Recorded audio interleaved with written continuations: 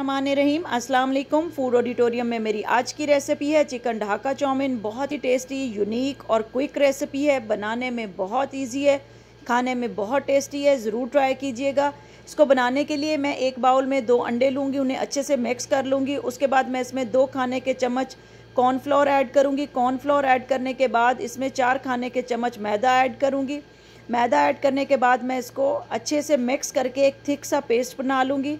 Mix करने के लिए मैं फोक यूज़ करूँगी क्योंकि उससे बहुत अच्छी मिक्सिंग हो जाती है। ये देखें, बहुत अच्छे से मिक्स करने के बाद मैं इसमें स्पाइसेस ऐड करूँगी, जिसमें सबसे पहले दो चाय के चम्मच कुटी हुई लाल मिर्च लाल मिर्च शामिल करने के बाद आधा चाय का चम्मच नमक शामिल करूँगी।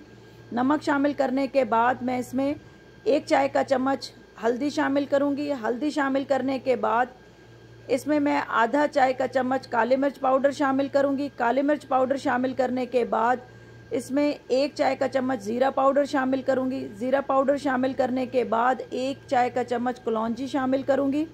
ये चीज़ें शामिल करने के बाद अच्छे से इसको मिक्स कर लूँगी। मिक्स करने के बाद मैं इसमें चिकन ऐड करूँगी। मैंने यहाँ चिकन की क्वांटिटी हाफ़ के जी ली है और बोनलेस चिकन यूज़ किया है। चार खाने के चम्मच गार्लिक पेस्ट लूँगी और उसको अच्छे से मिक्स कर लूँगी। बाद चार खाने के चम्मच तेल शामिल करूँगी। इन सब स्पाइसेस की क्वांटिटी आप अपने हिसाब से कम ज़्यादा कर सकते हैं।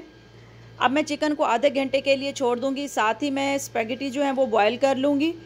बॉइलिंग के लिए मैंने एक पैन में पानी पहले से रख दिया था। अब मैं इसमें दो खाने के चम्मच कुकिंग ऑयल ऐड करूँगी। कुकिंग ऑयल ऐड करने के बाद एक खाने का चम्मच नमक शामिल करूँगी। नमक शामिल करने के बाद मैं इसमें एक पैकेट स्पैगेटी ऐड करूँगी। और उसे अच्छे से बॉईल कर लूँगी। ये तकरीबन सात से आठ मिनट में अच्छे से बॉयल हो जाएँगे। स्पैगेटी ऐड करने के बाद इनको मिक्स कर लेते हैं और ढाँप देते हैं तकरीबन छः से आठ मिनट के लिए। इतने टाइम में ये बॉयल हो जाएँगे। ये देखें, अच्छे से बॉयल हो चुके हैं। छलनी में निकाल के वॉश करके साइड पे रख दूँगी। साथ ही मैंने एक पैन में ऑयल गरम करने के लिए रख दिया है। ऑयल अच्छे से गर्म हो चुका है। अब मैं इसमें one by one chicken add करूँगी।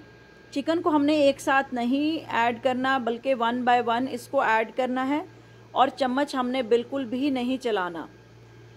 सिर्फ़ हमने अपने जो पैन है या जो कढ़ाई है जिसमें हम इसकी फ्राइंग कर रहे हैं, उसको अच्छे से हिला लेना है, लेकिन हमने चम्मच नहीं चलाना तब तक जब तक ये लाइट गोल्डन ब्राउन ना हो जाए। बहुत ही टेस्टी यूनिक और डिफरेंट रेसिपी है।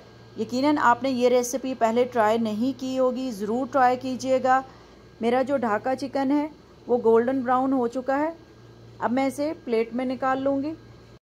और फाइनली चाउमीन बनाना स्टार्ट करूँगी। उसके लिए एक पैन में दो खाने के चम्मच ऑलिव ऑयल लूँगी। आप ऑलिव ऑयल की जगह कोई भी कुकिंग ऑयल यूज़ कर सकते हैं। उसमें मैं दो गाजरें ऐड करूँगी, जो ऑलरेडी मैंने चॉप करके रखी हुई हैं।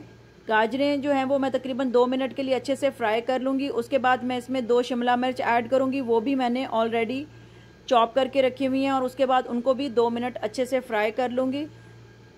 फ्राइंग के बाद मैं इसमें कुछ स्पाइसेस ऐड करूँगी, जिनमें सबसे पहले एक चाय का चम्मच काली मिर्च पाउडर।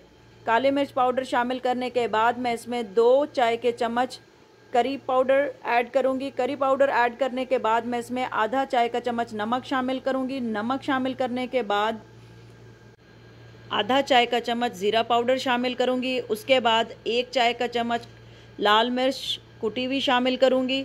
लाल मिर्च शामिल करने के बाद मैं इसमें थोड़ा सा चाइनीज़ सॉल्ट ऐड करूँगी। चाइनीज़ सॉल्ट ऐड करने के बाद मैं इसको अच्छे से मिक्स कर लूँगी और तकरीबन तीन मिनट के लिए अच्छे से फ्राई कर लूँगी। तीन मिनट के बाद मैं इसमें दो खाने के चम्मच सिरका शामिल करूँगी। सिरका शामिल करने के बाद दो खाने के चम्मच सोया सॉस ऐड करूँगी। सोया सॉस ऐड करने के बाद मैं इसमें चार खाने के चम्मच हॉट सॉस ऐड करूँगी। हॉट सॉस ऐड करने के बाद इसको अच्छे से मिक्स कर लूँगी और उसके बाद इसमें ढाका चिकन ऐड करूँगी, जो ऑलरेडी फ्राई करके रखा हुआ है। ढाका चिकन ऐड करने के बाद इसको मिक्स कर लूँगी और उसमें फिर मैं चार खाने के चम्मच कैचअप ऐड करूँगी। कैचअप ऐड करने के बाद इसमें मैं स्पैगेटी ऐड करूँगी जो ऑलरेडी बॉयल करके रखी हुई हैं और इसकी बहुत अच्छे से मिक्सिंग कर लूँगी। मिक्स करने के बाद इसमें तीन खाने के चम्मच मायोनीज़ ऐड करूँगी और तकरीबन दो मिनट के लिए अच्छे से पका लूँगी। उसके बाद एक खाने का चम्मच चिली सॉस ऐड करूँगी। चिली सॉस ऐड करने के बाद दो खाने के चम्मच कैचअप ऐड करूँगी। कैचअप ऐड करने के बाद मैं इसमें दो खाने के चम्मच ब्लैक ऑलिव्स ऐड करूँगी। ब्लैक ऑलिव्स ऐड करने के बाद मैं इसमें चीज़ चंक्स ऐड करूँगी। चीज़ जो है वो आप अपने हिसाब से जितनी खाना चाहें ऐड कर सकते हैं। इवन के जितने भी इंग्रेडिएंट्स मैंने यूज़ किए हैं, उनकी क्वांटिटी आप अपने हिसाब से कम ज़्यादा कर सकते हैं। उम्मीद है फ़ूड ऑडिटोरियम की ये रेसिपी चिकन ढाका चाउमीन आपको बहुत पसंद आएगी। मुझे कमेंट सेक्शन में ज़रूर बताइएगा और मेरे चैनल फ़ूड ऑडिटोरियम को लाइक करना सब्सक्राइब करना सब्सक्राइब करके बेल आइकन को ज़रूर प्रेस कीजिएगा और अपने फैमिली एंड फ्रेंड्स के साथ फ़ूड ऑडिटोरियम को ज़रूर शेयर कीजिएगा। इसी तरह इजी और क्विक रेसिपीज़ के साथ मिलते रहेंगे। अल्लाह हाफिज़।